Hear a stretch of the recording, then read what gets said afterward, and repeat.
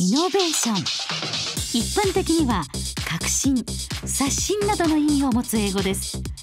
新しいアイデアから社会的意味のある新たな価値を創造し企業や技術革新につながる変化を起こす。それがイノベーションです。その波が今長岡市を大きく変えようとしています。長岡市は今新規開発や起業を目指す人たちにとって魅力ある街となっています。市の補助を受けて開業した夢を追いかける若者たち。ING 現在進行形で進む長岡市のイノベーションの今を探ります。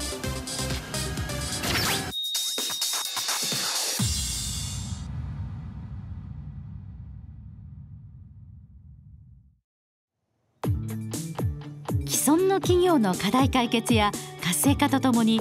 長岡市で進められているのが起業家の育成です。4大学1高専が集まる長岡市にはユニークな考えを持った若者が多くいます。その起業に対する機運を高め若者の地元定着を支援するのも長岡市の未来にとって大切なことです。AI を使った日本酒の利き酒ってよく分かりませんよね。聞いたところによると私の好みの日本酒も簡単に選んでくれるということなんです。早速行ってみましょう。こんにちは。あ、どうもこんにちは。よろしくお願いします。よろしくお願いします。なんか私の好みの日本酒を選んでくれるって聞いてきたんですけど、あそうですね。できますか？できますよ。はい。今できますか、はい。あじゃあ早速なんですけど、あはい。やってもらってもいいですか？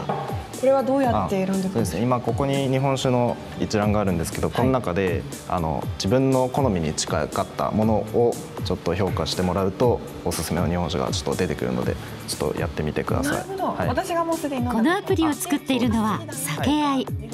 中心となっている長岡技術科学大学の新山大地さんをはじめメンバーは日本酒好きです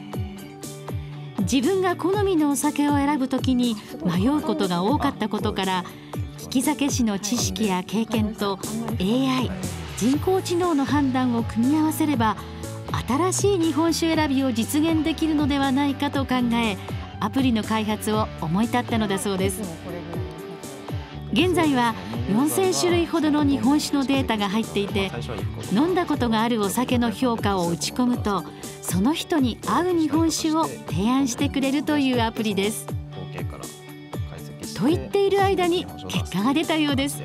酒愛が山田さんに勧めてくれたのは少し甘めという長岡の地酒白露でした。私普段割とこうスッキリなものというか、はい。辛めのものを飲むはい。イメージだったんです、勝手に、はい。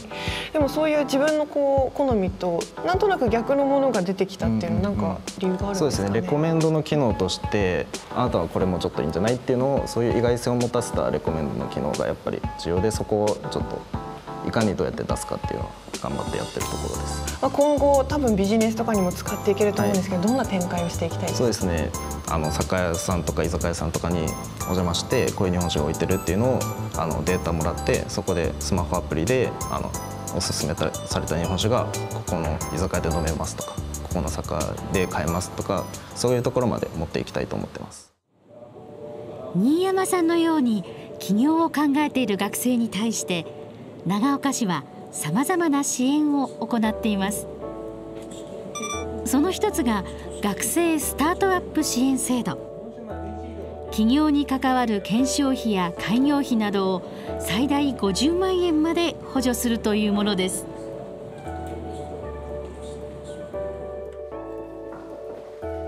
会社の設立を計画している新山さん。この日は企業支援センター長岡クリップを訪ねました。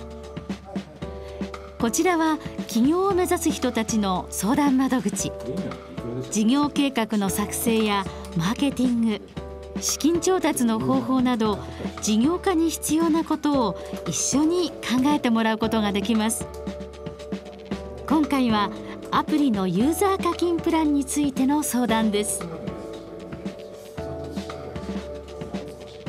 まあ、会社設立の流れとかフローとかあとビジネスプランのあの壁打ちとかそういうのにもやっぱり対応してくれるので非常にありがたいと思ってます。クリップセンター長の高橋さんは企業の街としての長岡市の成長を肌で感じているといいます起業された方も毎年30、まあ、うちだけですけど30社以上は立ち上がっていますし、まあ、相談件数もまあ安定して200から300件はありますので、まあ、だんだんその起業ということが一つのまあ選択肢といいますかいう地域になりつつあるのかなという感じはしますね。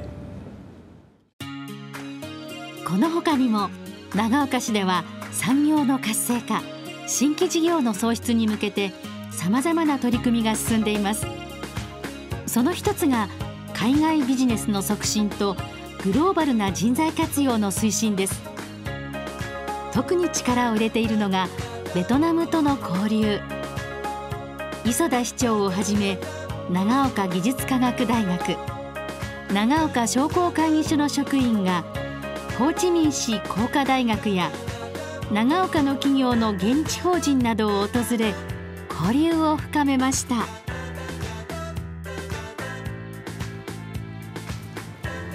ベトナムとの交流は留学生のインターンシップの受け入れという形でも行われています。長岡市与板町にある板屋根の部品メーカー坂田製作所ではおよそ2ヶ月間ハノイ工科大学の2人の学生が課題解決型のインターンシップを受けています。Nagaoka State is a very uh, is a beautiful, beautiful, and is a uh, environment in Nagaoka is very clean.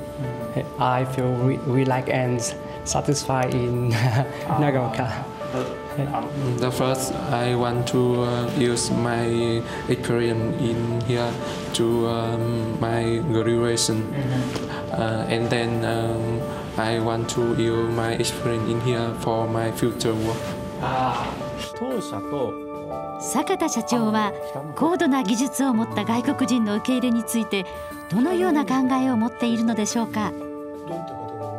日本国という一つの国単位でもですね必要なことだと思いますそういう状態でですねまず長岡市が率先してですね行うということはですね、えー特にあの日本全体を考えた上でもより進んだですね地域であるというアピールになると思います。長岡市で進んでいる独自のイノベーションの今に触れてきました。若い人たちを中心とした起業。そこにはさまざまな夢と魅力がありました。このパワーが長岡市の未来を明るく照らす灯火となるはずです。